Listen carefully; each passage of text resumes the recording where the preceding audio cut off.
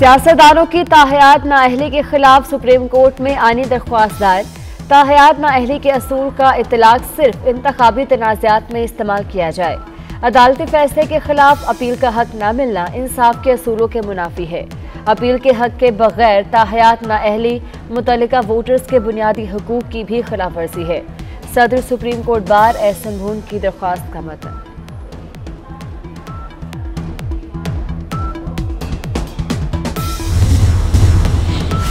कराची में नामालूम अफराद फिर सरगर्म। एम क्यू एम के गढ़ करीमाबाद में मार्केट को ज़बरदस्ती बंद करा दिया गया। दुकानदार खौफजदा, पुलिस और रेंजर्स की भारी तादाद पहुँच गई।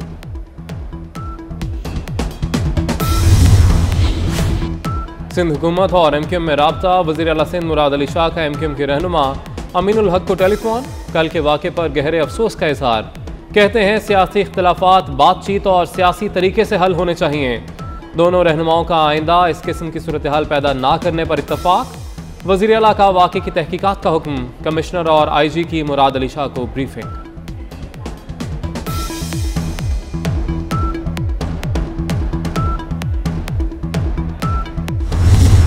जमात इस्लामी को हम छब्बीस, सत्ताईस दिन से कुछ नहीं कह रहे, वो बैठे हुए हैं, एहतजाज कर रहे हैं।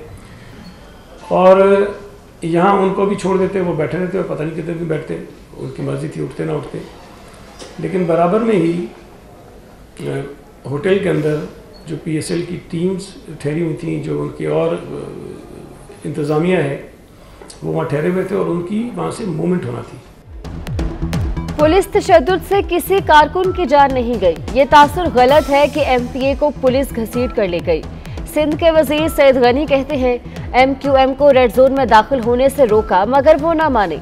पीएसएल टीमें रेड जोन में होटल्स में ठहरी हुई हैं। कार्रवाई ना करते तो खतरनाक नतज सामने आ सकते थे।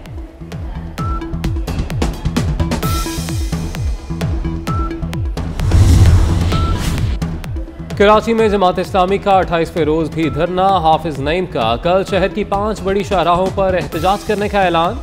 कहते हैं नया बल्दियाती एक्ट किसी सूरत कबूल नहीं।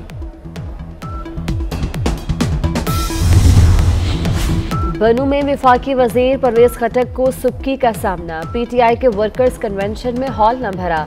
कुर्सियाँ खाली देखकर परवेज खटक गुस्से में आ गए।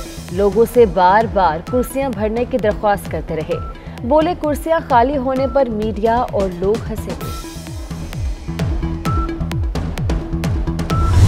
आज तक किसी माशरे ने तरक्की की नहीं, जब तक उनका लीगल सिस्टम ठीक नहीं। जब ताकतवर चोरी करता था तो उसको सजा नहीं मिलती थी। और जब कमज़ोर चोरी करता था तो उसको सजा देते जब एक गरीब आदमी को इंसाफ मिलता है एक ताकतवर के खिलाफ, उसकी दुआएँ निकलती हैं उस स्टेट में। अल्लाह की बरकत आती है उस माशरे में। मैं अपनी जुडिशरी से, अपनी वकला कम्युनिटी से अपील करूँगा कि इसको अब इम्प्लीमेंट आपने करना है। कानून की हुक्मरानी के बगैर कोई मुल्क तरक्की नहीं कर सकता। लीगल सिस्टम दुरुस्त ना होने की वजह से कानून की हुक्मरानी मुमकिन नहीं। वज़ीर अजम इमरान खान कहते हैं कि ताकतवर को चोरी की सजा नहीं मिलती और गरीब पिस जाता है। गरीब को ताकतवर के मुकाबले में इंसाफ मिलता है तो वो दुआएँ देता है। गरीब की दुआओं से अल्लाह की बरकत आती है। अदलिया से अपील है कि कानूनी असलाहत और कानून पर अमल कराए।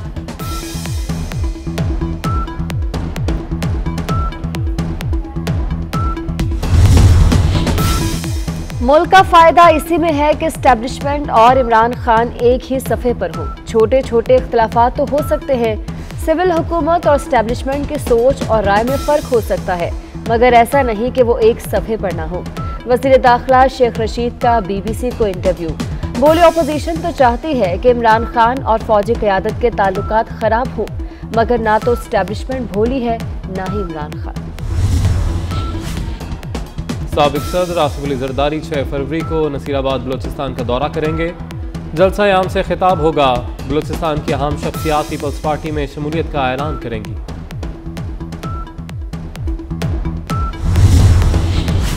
पब्लिक अकाउंट्स कमेटी के इजलास में चेयरमैन राना तनवीर और लीगी रुकन रोहिल असगर में तल्ख कलामी बात करने की इजाज़त न मिलने पर रोहिल असगर इजलास से उठकर चले गए।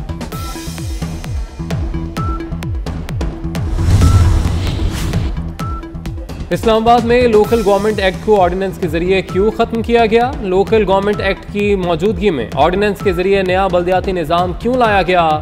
ऑर्डिनेंस तो सिर्फ़ इमरजेंसी कानून साजी के लिए है। बल्दियात के लिए कौन सी इमरजेंसी है? इस्लामाबाद हाईकोर्ट ने सवाल उठा दिए।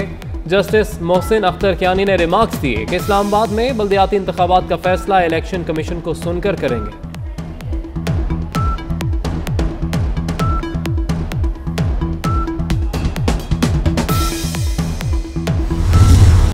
पाकिस्तान में कोरोना का फैलाव वायरस मजीद 25 जाने ले गया एक दिन में सात हज़ार पाँच सौ उनतालीस केस रिपोर्ट, मस्बत केसेस की शरह ग्यारह अशारिया नौ एक फ़ीसद रिपोर्ट। कराची में मस्बत केसेस की शरह छब्बीस अशारिया तीन दो फ़ीसद पर आ गई। दो हज़ार इक्कीस अफराद में कोरोना की तस्दीक, एक्सपो सेंटर में मुलाजमीन का चौथे रोज़ एहतजाज। अवाम वैक्सीन लगवाए बगैर ही वापस चले गए।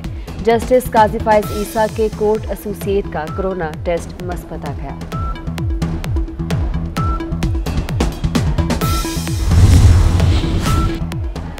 पाकिस्तान सस्ता नहीं खत्े का महँगा तरीन मुल्क। स्टेट बैंक ने हुकूमती दावों का पोस्टमार्टम कर दिया।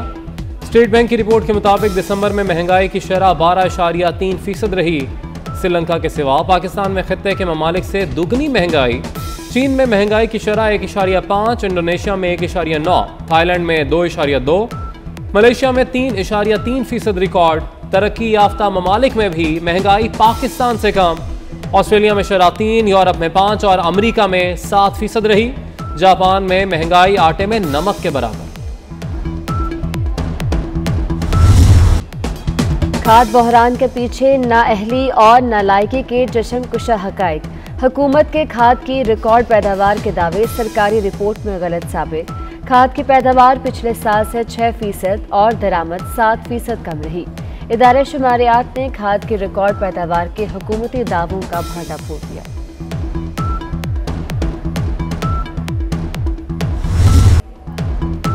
लाहौर के इलाके काना में माँ और तीन बच्चों के कत्ल का ड्रॉप सीन। वारदात में बच जाने वाला चौदह साल लड़का कातिल निकला।